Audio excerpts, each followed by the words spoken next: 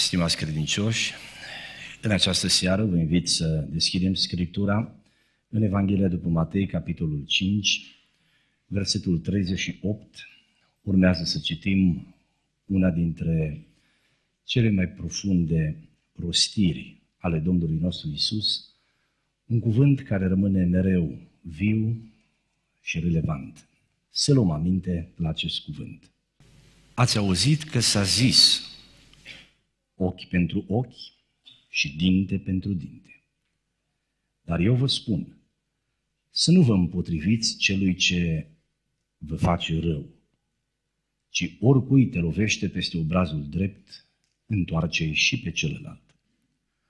Oricui vrea să se judece cu tine și să-ți ia haina, lasă și cămașa. Dacă te silește cineva să mergi cu el o milă de loc, mergi cu el două. Celui ce-ți cere, dă și nu întoarce spatele celui ce vrea să se împrumute de la tine. Amin. În această după masă avem din nou în atenția noastră cuvintele Domnului nostru Isus și din ciclul de învățături biblice intitulat Poruncile lui Isus, în această seară vom avea în atenția noastră cuvântul rostit în pasajul pe care l-am lecturat. Noi mărturisim că Isus este Domnul și învățătorul nostru. El are dreptul să conducă viețile noastre și are autoritate să ne învețe ce să facem. Ca ucenici ai săi, suntem chemați să-L urmăm, să învățăm de la El și să trăim după cuvintele și după pilda pe care El ne-a lăsat-o.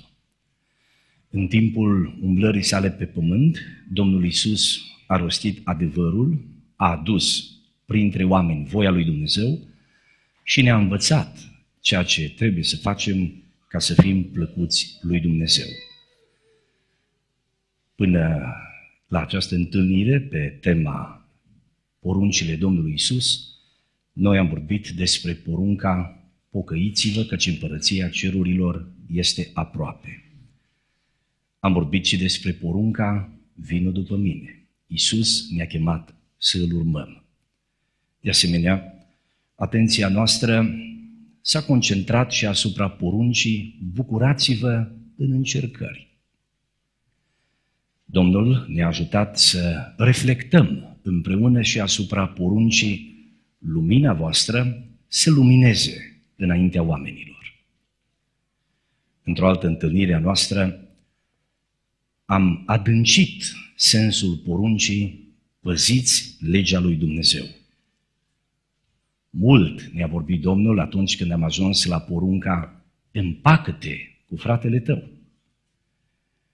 Dumnezeu ne-a vorbit și atunci când ne-am apropiat de porunca să nu poftești, mai bine scoateți ochiul.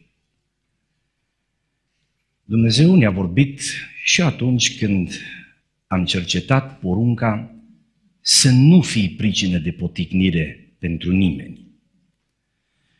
În ultimile două întâlniri pe acest ciclu de învățături biblice am vorbit despre porunca rugați-vă ca să nu cădeți în ispită și porunca fiți oameni de cuvânt. În această seară avem în fața noastră un cuvânt foarte uh, greu de împlinit.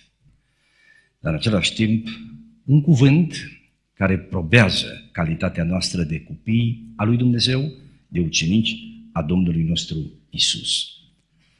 Această poruncă să nu vă împotriviți celui ce vă face rău, așa a zis Isus, să nu vă împotriviți celui ce vă face rău, această poruncă o vom adânci sub titlul Întoarce și obrazul celălalt.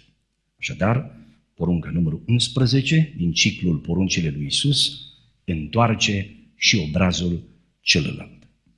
Un cuvânt enigmatic, cu totul nou, cu sensuri extrem de adânci, un cuvânt care răspunde la multe întrebări, un cuvânt care, prin care Mântuitorul Iisus a adus un răspuns nemai auzit pe planeta Pământ.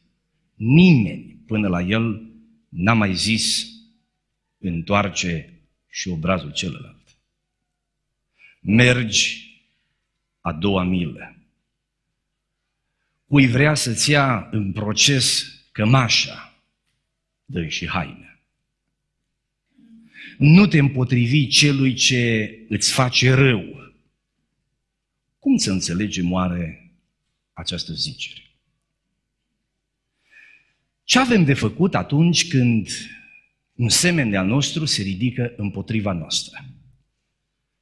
Ce așteaptă Dumnezeu de la noi ca ucenici ai Domnului Isus să facem atunci când suntem ofensați, jigniți, trași în judecată, bagiocoriți, nedreptățiți, persecutați? Răspunsul la aceste întrebări se găsește în pasajul pe care l-am citit. Haidem să ne apropiem de el. Întâi de toate, vă invit să ne uităm la contextul acestei porunci, context descris în versetul 38. Contextul este reprezentat de zicerea Ați auzit că s-a zis ochi pentru ochi și dinte pentru dinte. Această zicere aparține Vechiului Testament. Dumnezeu a spus lui Moise acest cuvânt. Domnul Isus, în porunca să nu vă împotriviți celui ce vă face rău, pornește de la această zicere. Ochi pentru ochi și dinte pentru dinte. Încă de la prima privire asupra acestui text biblic, izbește contradicția între ceea ce Vechiul Testament a zis și acum Isus spune. În vechime s-a spus ochi pentru ochi, dinte pentru dinte. Dacă cineva îți scoate un ochi și ochiul lui să fie scos. Dacă cineva te lovește și pierzi un dinte și dintele lui să fie scos. Dar eu vă spun, a zis Isus, să nu vă împotriviți celui ce vă face rău. Contextul în care Mântuitorul Iisus vorbește este reprezentat de legea mozaică, lege în care a fost dată porunca ochi pentru ochi și dinte pentru dinte. Exodul, capitolul 21, versetul 22 la versetul 24, descrie această poruncă. Iată ce este scris. Dacă se ceartă doi oameni, și apoi continuă textul spunându-ne ce vor face ei în cearta lor, lovesc pe o femeie însărcinată și o fac să nască înainte de vreme, fără altă nenorocire, să fie pedepsiți cu o gloabă pusă de bărbatul femeii și pe care, foarte mare atenție, o vor plăti după hotărârea judecătorilor. Judecătorii hotărăsc ce înseamnă ochi pentru ochi și dinte pentru dinte. Urmează următorul paragraf. Dar dacă se întâmplă o nenorocire, vei da viață pentru viață, ochi pentru ochi, dinte pentru dinte, mână pentru mână, picior pentru picior. Aceasta a fost zicerea. Rostită de Dumnezeu, cât se poate de răspicat, de limpede, ca reprezentând autoritatea judecătorilor, singurii în drept să o aplice. Levitic 24, 19 la 20 ne spune același lucru. Dacă cineva rănește pe aproapele lui și să îi se facă așa cum a făcut și el, frântură pentru frântură, ochi pentru ochi, dinte pentru dinte, să îi se facă aceeași rană pe care a făcut-o el aproape lui său. Trebuie să observăm, stimați frați, că această lege, legea talionului, lex talionis, cum spuneau romanii, a reprezentat mandatul dat de Dumnezeu judecătorilor. Deuteronom 19, de la 16 la 21, lămurește limpede această problemă. Când un martor mincinos se va ridica împotriva cuiva ca să-l învinuiască de vreo nelegiuire, cei doi oameni, cu pricina să se înfățișeze înaintea Domnului, înaintea preoților și judecătorilor care vor fi atunci în slujbă. Judecătorii să facă cercetări amănunțite. Dacă se va afla că martorul acela este un martor mincinos și că a făcut o mărturisire mincinoasă împotriva fratelui său, atunci să-i faceți cum avea el de gând să facă fratelui său. Să scoți astfel răul din mijlocul tău. În felul acesta ceilalți vor auzi și se vor teme și nu se va mai face o faptă așa de nelegiuită în mijlocul tău. Să n-ai nicio milă, ci să ceri viață pentru viață, ochi pentru ochi, dinte pentru dinte, mână pentru mână, picior peste picior, pentru picior. Ceea ce trebuie să observăm și să ne așezăm în inimă este că porunca Vechiului Testament, ochi pentru ochi, dinte pentru dinte, a fost lăsată de Dumnezeu în mandatul și spre administrația judecătorilor, chemați să împartă dreptatea în mijlocul poporului. Sub nicio formă, vreunul din popor, cu de la sine alegere, în mod arbitrar, ar fi avut dreptul să împartă dreptatea după cum credea el.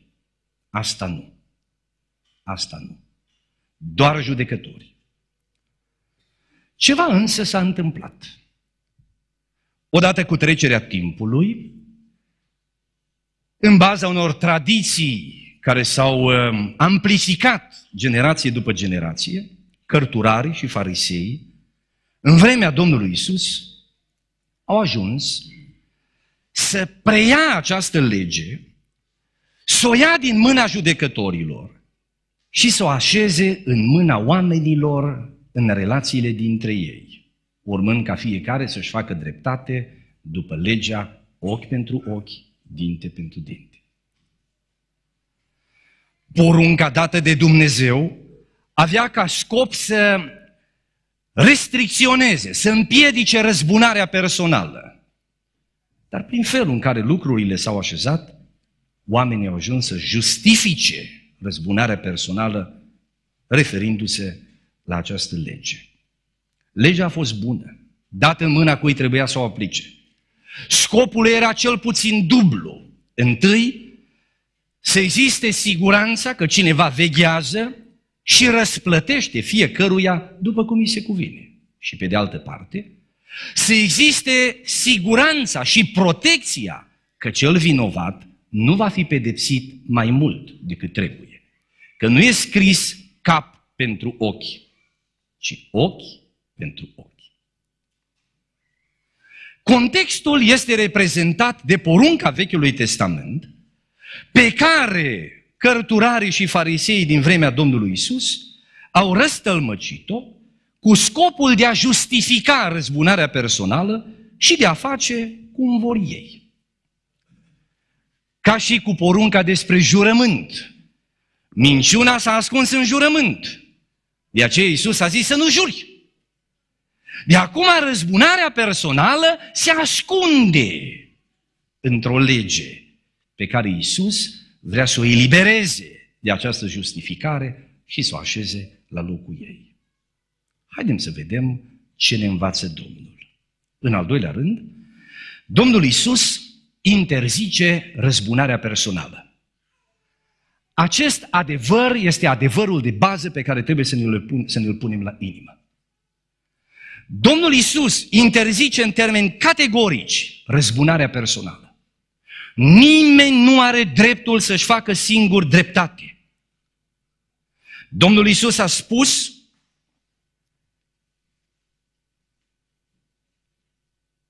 să nu vă împotriviți celui ce vă face rău. Iată ce cuvânt. să nu vă împotriviți celui ce vă face rău. Adică, dacă cineva te ofensează, dacă cineva îți face nedreptate, Isus a spus să nu te împotrivești. Ce înseamnă oare acest cuvânt? E limpede că în sensul acestui cuvânt se găsește interdicția răzbunării. Sigur că privindul, uh, și aș vrea să ne uităm împreună la el, versetul 39, privindul, el rezervă pentru noi multe întrebări. Să luăm așa, să nu vă împotriviți celui ce vă face rău. Ce să însemne oare? Lev Tolstoi a scris o carte în care insistă că acest text ne cere să nu avem poliție, să nu existe armată, să nu existe pușcării și tribunale, că nu trebuie să ne împotrivim celui ce face rău. Hoțul nu trebuie prins, criminalul pe Fiecare trebuie lăsat în pace. Oare așa să fie? Cu siguranță nu. Pentru că în multe texte ale Scripturilor observăm cum Dumnezeu a ales în societatea umană o conducere care i-a împărțit autoritate și care le reprezintă în împărțirea dreptății. Uh, Martin Luther se referă la, uh, citez, Sfântul Nebun. În vremea lui Martin Luther exista o orientare pe care Luther o ia oarecum peste picior, zicând că acest sfânt nebun, sub îndemnul, nu vă împotriviți celui ce vă face rău, nu omoară păduchii de pe el. Și a zis Luther. Că nu trebuie să-i oprească. Se lasă mai bine mâncat de viu decât să-i îndepărteze, chiar dacă îi fac rău. Să nu vă împotriviți celui ce vă face rău vremea aceea oamenii erau tare scrupuloși cu cuvintele Domnului Isus. Relativismul contemporan nu se încadrează în această atenție. Martin Luther însă a venit cu o explicație care cred că așează unde trebuie înțelesul cuvintelor Domnului. El face distinție între persoană și slujba persoanei. Între individ și instituție. Între cetățean și stat. Arătând că porunca aceasta este îndreptată spre persoană, spre individ, căruia îi se interzice să se răzbune singur, urmând ca statul, conducerea, să se ocupe sub mandatul lui Dumnezeu de împărțirea dreptății. Așa s-a înțeles acest cuvânt. Ca așa stau lucrurile, să ne aducem aminte de ce spunea Apostolul Pavel. Romani, capitolul 12, versetul 17 la 21. Nu întoarceți nimănui rău pentru rău. Urmăriți ce este bine înaintea tuturor oamenilor. Dacă este cu putință, întrucât atârnă de voi, trăiți în pace cu toți oamenii. Preiubiților, nu vă răzbunați singuri ci lăsați să se răzbune mânia lui Dumnezeu, căci este scris, răzbunarea este a mea, eu voi răsplăti, zice Domnul. Din potrivă, dacă este foame vrăjmașului tău, dă să mănânce. Dacă este sete, dă să bea. Dacă vei face astfel, vei îngrămădi cărbune aprinși pe capul lui. Nu te lăsa birui de rău, ci biruie răul prin bine. Acest cuvânt este spus persoanei. Ca apoi să se vorbească statului sau despre mandatul dregătorului. 13, versetul 1 la versetul 5. Oricine să fie supus stăpânirilor celor mai înalte, căci nu este stăpânire care să nu vină de la Dumnezeu și stăpânirile care sunt au fost rânduite de Dumnezeu. De aceea, Cine se împotrivește stăpânirii, se împotrivește rânduielii puse de Dumnezeu și cei ce se împotrivesc își vor lua o sânda. Dregătorii nu sunt de temut pentru o faptă bună, ci pentru un aria. Vrei dar să nu-ți fie frică de stăpânire? Fă binele și vei avea laudă de la ea. El este slujitorul lui Dumnezeu pentru binele tău. Da, auziți? Dar dacă faci răul, temete că nu degeaba poartă sabia. El este în slujba lui Dumnezeu ca să-l răzbune și să pedepsească pe cel ce face rău. De aceea trebuie să fii supuși nu numai de frica pedepsei, ci și din îndemnul cugetului. Persoanei, individului, îi se spune să nu te răzbuni singur. Răzbunarea este a lui Dumnezeu, care spre pedepsirea celui vinovat a mandatat, cel puțin în parte, pe dregător. Nimeni să nu-și facă singur dreptate. Cine își face singur dreptate, păcătuiește împotriva lui Dumnezeu. Isus este foarte clar. N-avem voie să ne facem singur dreptate. Este păcat. Dreptatea este administrată de Dumnezeu sau de Dumnezeu prin dregător. Dumnezeu să ne ajute. Frați și surori, creștinul n-are voie să se răzbune. El n-are voie să ia în mână legea și să-și facă dreptate singur. Noi trăim într-o cultură, într-o lume în care se promovează autorăzbunarea. O lume în care e promovată ideea de dreptate pe care ți-o faci singur în mass media, în special în industria filmului, este promovat acest mod de a gândi. Tema Hollywoodului este să-ți faci singur dreptate. Cetățeanul, omul de rând, omului de rând îi se insuflă, îi se inspiră ideea că nu trebuie să aștepte, ci trebuie singur să-și rezolve lucrurile. Modelul acestei lumi ne îndeamnă, ne inspiră să dăm din coate, să fim duri, severi,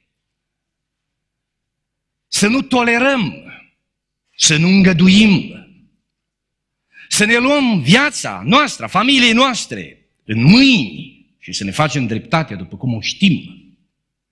Că până face legea, nu mai ajunge.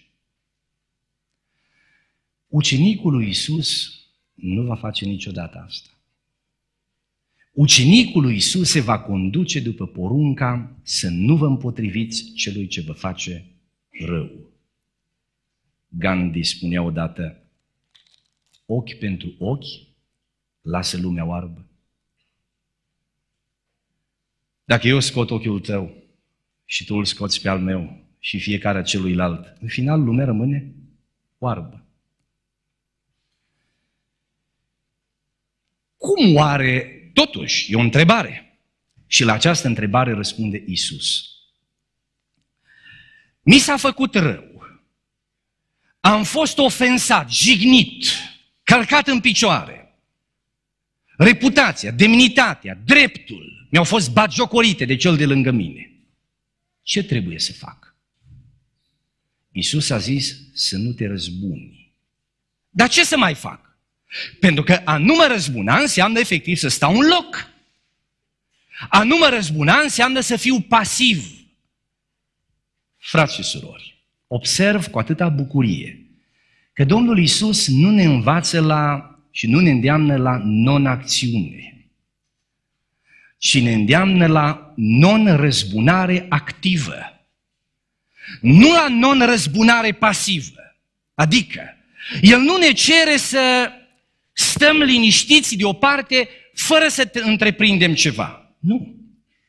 Și El ne învață, și acestea se aplică la nivelul persoanei, fiecare dintre noi, în dreptul lui, situațiile lui de viață. Atunci când ești nedreptățit, nu te împotrivi celui ce-ți face rău. Uitați, vă rog, cum continuă cuvântul ci, versetul 39, oricui te lovește peste obrazul drept, nu zice, închide ochii, fă că nu te-a lovit, scrâșnește din dinți, cereți scuze, retrage-te discret, nu fă nimic. Ci se zice, întoarce și obrazul celălalt. Deja aici este non-răzbunare activă. Faci ceva. Nu asiști pasiv la nedreptatea întâmplată, ci acționezi într-un fel cu totul surprinzător. La fel, oricui vrea să se judece cu tine să-ți ia haina, poate că judecătorul e de dreptate. Lasă și cămașa. Dacă te silește cineva să mergi cu el o milă de loc, mergi cu el două.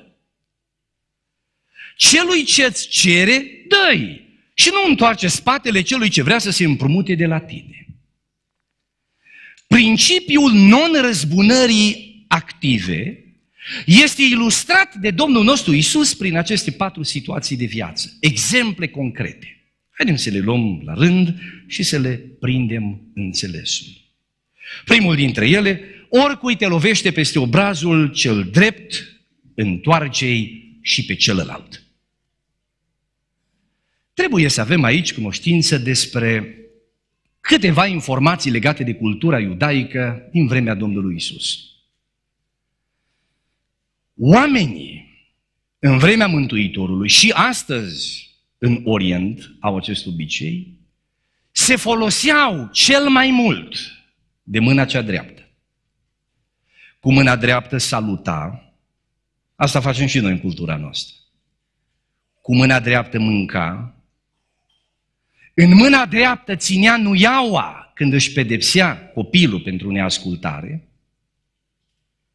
cu mâna dreaptă lovea în oponentul, în dușmanul său, când voia să-și facă dreptate. Mâna stângă o folosea numai la baie. Când un hoț era prins, îi se tăia mâna dreaptă și era condamnat să se folosească în treburile vieții de mâna stângă. Era rușine mare. Acum Iisus vorbește despre un soi de lovitură aplicat cu mâna dreaptă peste obrazul cel drept. Hai aici, Sami. Hai să văd cât de tare reziști.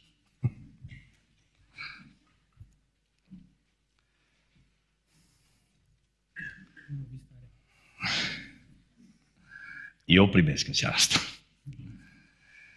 Fii foarte atent. Domnul Isus vorbește în acest cuvânt despre o situație între doi bărbați, cum am fi noi acei. Unul îl agresează pe celălalt, cum ai face tu cu mine, Doamne ferește. Va trebui, uite-te în fața mea acum, stai așa. Va trebui să mă lovești peste obrazul drept cu mâna dreaptă. nu. Cum ar trebui să dai? Ai dat pe obrazul stâng. Tu așa dai? Ca o domnișoară? Deci e vorba de lovitura cu dosul palmei. La acest gen de lovitură se referă Isus. Față în față cu un oponent, deodată te-a lovit, dosul palmei. E jignirea la superlativ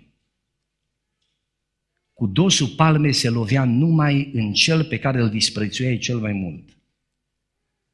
Echivalentul acelei lovituri era marginalizare socială. Persoana tratată așa era împinsă spre periferie, socotit neom, jignit la superlativ. Dacă am traduce textul acesta culturalizând sensul, am zice un șut mi rușine să spun mai departe. Despre asta e vorba. Mântuitorul spune, când cineva te-a lovit peste obrazul cel drept, nu trebuie să te temi. Că am văzut că te-ai ferit. Cine știe că te-ai primit tu până când s-a format reflexul? Acum te întreb, Sami. Dacă, eu, dacă tu m-ai lovit cu dosul palmei, și eu am întors obrazul stâng. Ce variante ai?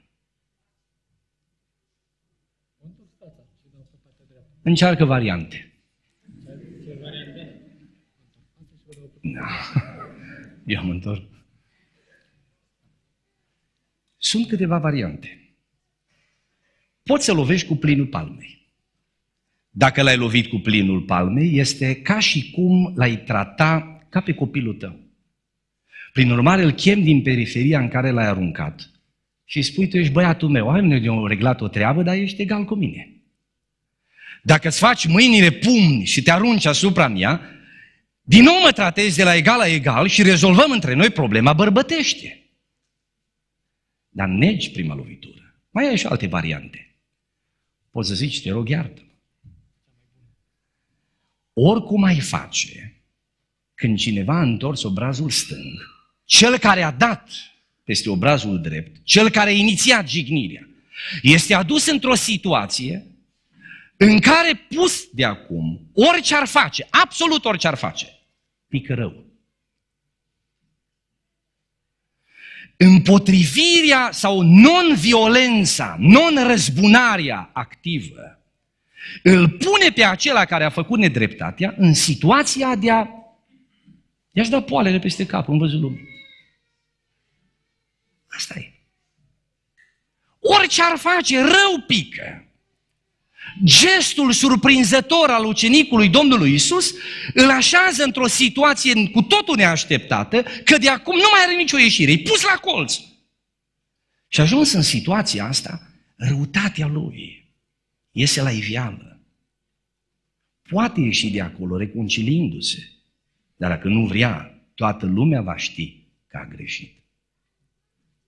Asta ne-a învățat Isus. Dacă vrei, poți să stai aici, poți să te pui și jos, poți să și pleci, cum vrei. Nu afară. Frați și surori, Isus, prin acest cuvânt, ne învață să nu ne răspunem. Iar dacă se întâmplă cumva ca cineva să ne trateze după cum citim aici, pilda Mântuitorului este să ne împotrivim printr-o, printr-o non-răzbunare activă. Spre exemplu, un uh, cunoscut pugilist, Billy Bray, s-a întors la credință. Mare bătăuș înainte să se întoarcă la credință. Lucra într-o mină în Statele Unite. Avea el acolo unul care îl ținea bine la inimă, dar n-a avut niciodată curaj, tovarășul lui, să se lege în vreun fel de milibrei, pentru că știa că n-are nicio șansă. După ce omul nostru s-a întors la Domnul Isus, s-a botezat în apă, a început viața de creștin, într-o situație dată acolo în mine, fără avertisment, oponentul lui l-a luat la niște pumni și l-a lovit în față, fără avertisment. Toată lumea s-a așteptat să vadă ce va face marele boxer. A uitat la el și a spus, fie ca Dumnezeu să te ierte așa cum te iert și eu. Asta a însemnat întoarcerea obrazului stâng. Despre Hudson Taylor se spune că el, cum ne cunoașteți, a fost misionar în China. Străinii și mai ales englezii erau foarte respectați în China în respectivele vremuri. Hudson Taylor și-a uh, adoptat veșmântarea tradițional chineză, de asemenea s-a tuns ca chinezii, avea coadă din aceea, tuns chiliug aici în față, părea ca un chinez. Într-o zi trebuia să treacă cu barca peste un râu a chemat barcagiul. S-a știut, un străin cheamă barca, acordați prioritate. A așteptat la mal, în timp ce barcagiul se apropia, un chinez foarte bogat a venit să urce în barcă. L-a confundat pe Hudson Taylor cu un localnic. Fără veste s-a năpustit asupra lui și când l-a împins odată cu atâta violență și forță, l-a trântit pe față în noroi. Când s-a ridicat, deodată s-a dovedit că el este străinul. Barcagiu a spus, rog frumos să urcați, pentru asta am venit.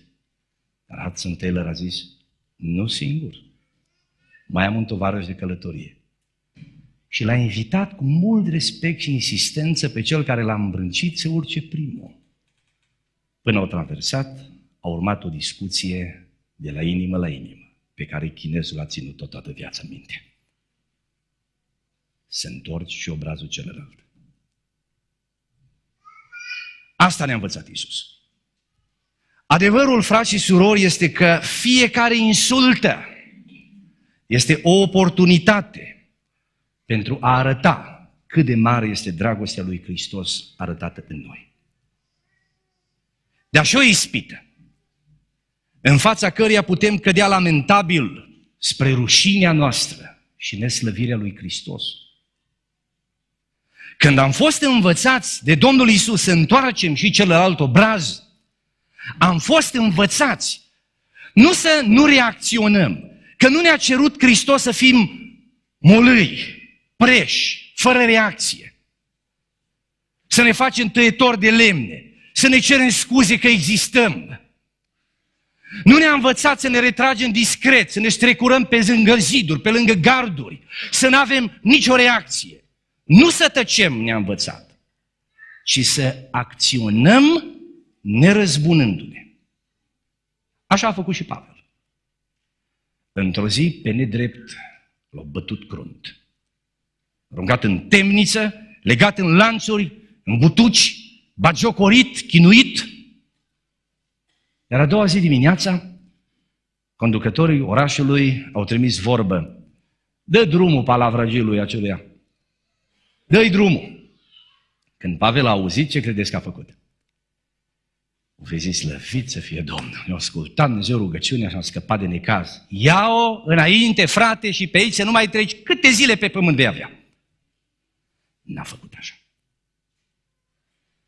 A spus celor trimiși domnilor, eu sunt Pavel, cetățean roman.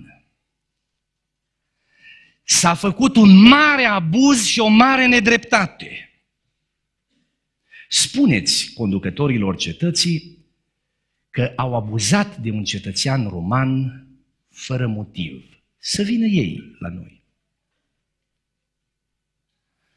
Când conducătorii au auzit ce le spuse, au intrat în frica.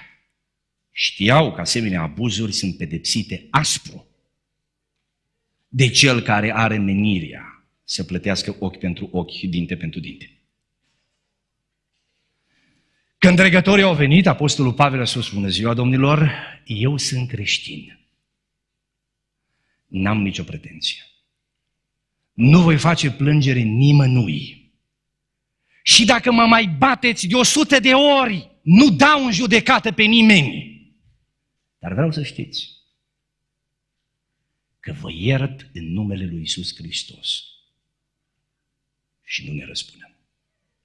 Ieșim cu voi pe ușa din față.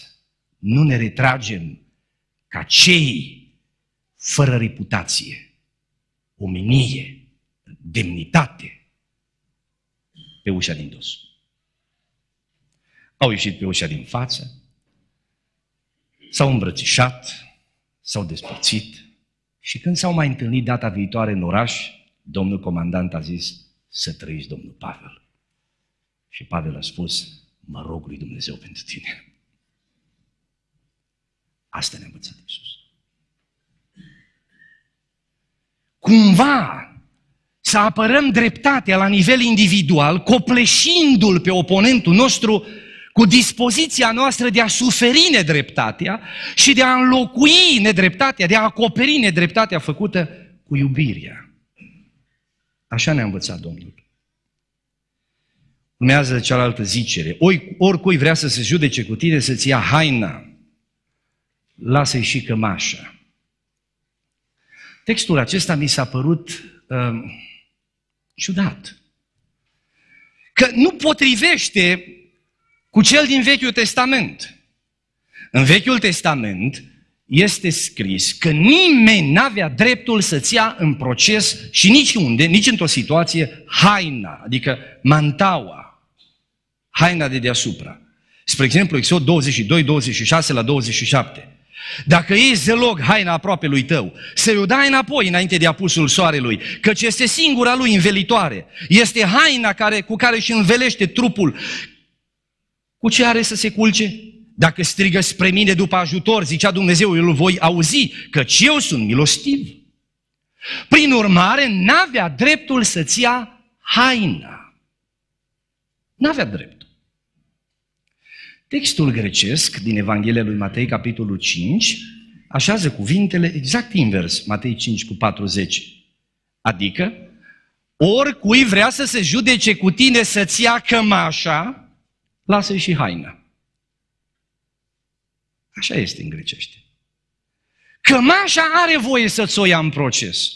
Haina nu. E cadrul legal, te poate da în judecată, poate câștiga procesul pentru cămașă, dar codul penal, legea, nu permite să-ți ia haina, numai cămașa. Și acum te-a dat în judecată și le-a sucit cum le-a sucit și de acum dăm cămașa. Ce faci? Recurs. Iisus a zis, dă și haina. dă și ceea ce nu poate lua legal. Te-a dat în judecată pentru bucata aia de pământ. Și tu ai pus avocați mulți și tari ca să-ți aperi interesele. Rușine. Trebuia să cedezi. dă și haină. Dar cine face așa? Ucenicii lui Isus. Unde sunt? Zrari. Isus ne-a învățat să fim ucenici. Ce ducem din lumea asta? Sunt puternici ai vremurilor noastre care au strâns averi mari și dorm pe un pat într-o pușcărie. La ce îi ajută? Ce liniște va avea acel ucenic al lui Isus care, cum o fi ieșit oare din sala de judecată și fără cămașă și fără haină? Ce-o fi zis judecătorii? Ce-o fi zis oamenii? Cum nu s-o fi uitat înspre acela care ține pe braci haina și cămașa? Și cum nu vor fi spus, domnule, cum poți atâta nedreptate să faci? Uite ce om bun! Din nou, iubirea și frumusețea caracterului așezat de Hristos în ucenic iese la lumină. Despre asta e vorba. Urmează exemplul al treilea. Dacă te silește cineva să mergi cu el o milă de loc, mergi cu el două.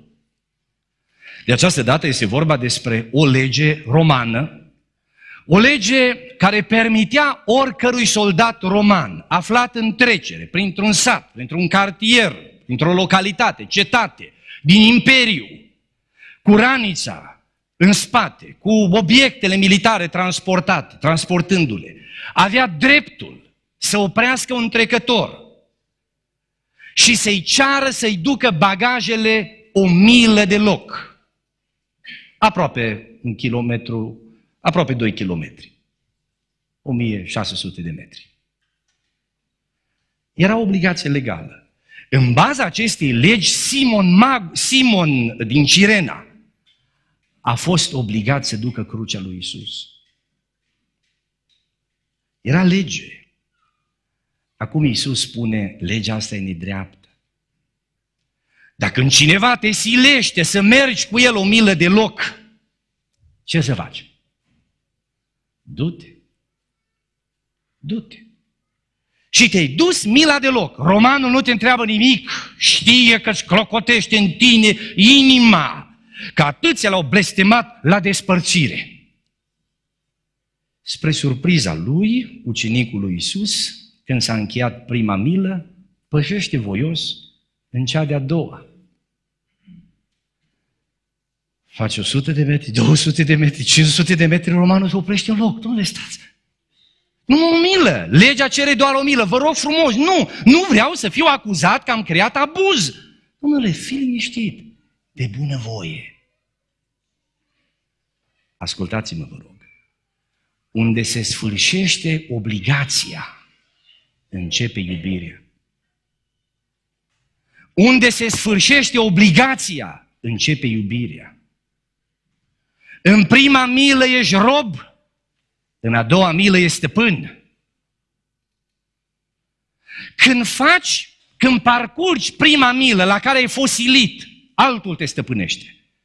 Când de bună voie te duci în cea de-a doua, tu stăpânești. Așa ne-a cerut Isus să ne ridicăm peste ofensă. În timpul sau pe parcursul primei mile, îți faci obligație de cetățean. În timp ce parcurgi a doua milă, te confirmi ca ucenic al lui Isus. E o diferență mare. La aceasta, frați și surori, ne învață Domnul nostru. Adevărul e că e un cuvânt practic. Cuvânt pe care trebuie să ne-l punem la inimă. Cuvânt, exemple date de Mântuitorul, care se vor aplica în circunstanțele noastre de viață diferit. Nu avem în Sibiu sau în România o lege în care să fim obligați să facem, să cărăm bagajele cuiva un kilometru și jumătate. Dar vor fi alte situații. Fii dispus să acoperi cu iubirea orice nedreptate care ți se face. Așa se arată că suntem creștini.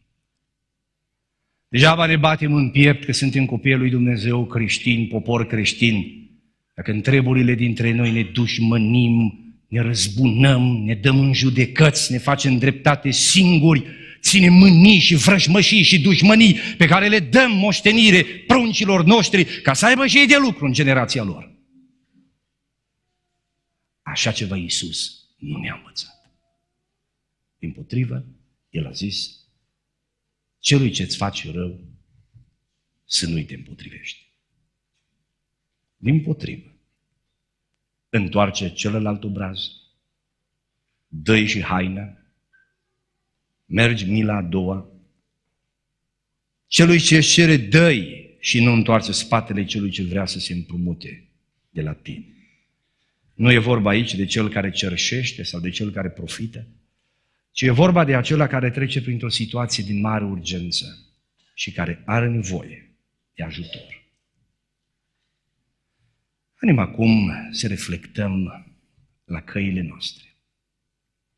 V-a făcut vreodată cineva vreo nedreptate? Ați fost vreodată jigniți de cineva? Ofensați? Drepturile v-au fost călcate în picioare? Poate la serviciu. S-a ridicat unul împotriva ta și ți-a făcut nedreptate. Ce e de făcut? Să nu-ți faci dreptate. Asta este treaba mai marilor tăi, a dregătorului. Să ierți. Și să copleșești pe cel care ți-a făcut nedreptatea cu exemple și cu dispoziția ta de a suferi mai mult decât ți-a făcut el. În acest fel, vei îngrămădi cărbuni aprinși pe capul aceluia care ți-a făcut rău. Și în acest fel îl vei îndemna să-și dorească ceva. Puneți-vă, vă rog, la inimă o vorbă. Dând mai mult decât datorăm, noi motivăm pe cei care ne, drept, ne nedreptățesc să-și dorească bogăția lui Hristos care este în noi. Evangelizarea începe când ai întors obrazul stâng, nu când discuți dacă a fost sau nu drept să fii lovit peste obrazul celălalt. Evangelizarea începe nu în timp ce cari în spate tăcut bagajele în prima milă, ci când trecând în mila a doua, atragi atenția oponentului tău cu ceva ce nu se poate găsi decât în inima acelui care îl urmează pe Isus. Acolo începe evangelizarea. Acolo se câștigă sufletele. Acolo se arată cât de mare este Hristos în inimile noastre. Dar dacă suntem înguști la inimă, la minte, la iubire, dacă apelăm copilărește, firește, la răzbunare, la dreptate, nu facem altceva decât să ne facem pe noi înșine de rușine și pe Dumnezeul în care mărturisim că avem credință.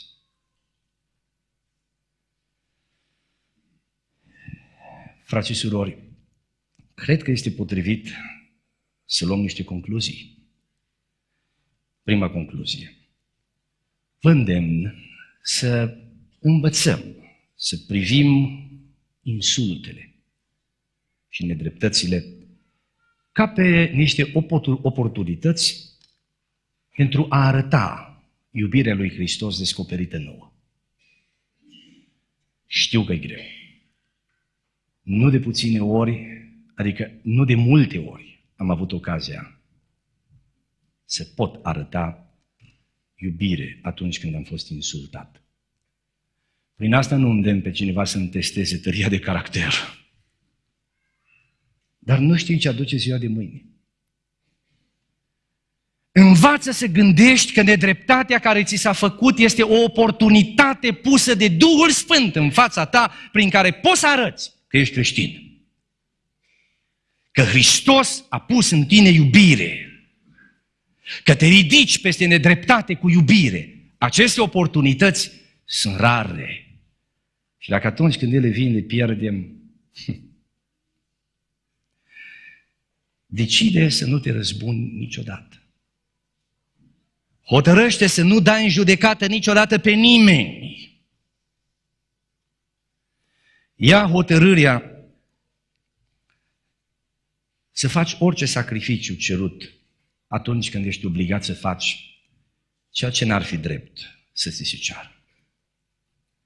Și încă ceva. Exprimă-ți dragostea creștinească prin fapte bune, arătate acelora care s-au purtat cu tine rău. Fratele Vumbran povestea cum numai el știe spune. Cum a fost bătut de un gardian din pușcărie. Chinuit săptămâni și luni la rând, batjocorit în fel și fel. Deci pusese în minte să pună în față să iasă toți creștinii și el ieșea că e creștin și lua bătaie. După aia chema în față pe evrei și ieșea iară, că era și evreu și lua iară bătaie. Până o dată Vumbrand a zis, când cheamă pe creștini, eu sunt evreu. Când cheamă pe evrei, eu sunt creștin. Dar tot n-a scăpat. Dar lucrurile s-au răsturnat. Niște abuzuri săvârșite de gardian au ieșit la lumină și a fost pus în pușcărie, în celulă cu Vumbrand. Acu acu. Câți ori fi fost acolo alți colegi de pușcărie, de celulă, s-ar fi năpustit într-un suflet asupra acelui gardian nemilos. Dar Vumbrand a zis, nu, trebuie să-i arătăm iertare lui Hristos. I-a îngrijit rănile, i-a împărțit mâncarea, mâncarea lui arată lui. Și muribundul a murit întors la credință. Trebuie să încheiem seara aceasta cântând și rugându-ne. Cântând și rugându-ne. Mesajul serii este subtitlul Întoarce și obrazul celălalt.